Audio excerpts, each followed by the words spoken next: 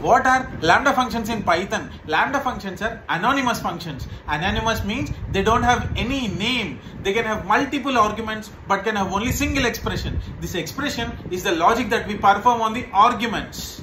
If at all we see the syntax of lambda, lambda keyword will come first and the argument that we are passing to lambda, let's say it is age, I'll write some logic, okay, on the passed argument. Major if age greater than 18 else? Minor okay.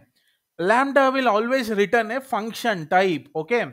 We know that function type is always callable. So i'll call fun variable with the parameter age. Let's say 13 and i'll print it. If at all i execute it the passed argument is 13 which is less than 18 so minor is the result okay. If at all we want to implement this logic through normal functions it will take several lines of code like this but if at all we are trying to implement it with lambda it will take a single line of code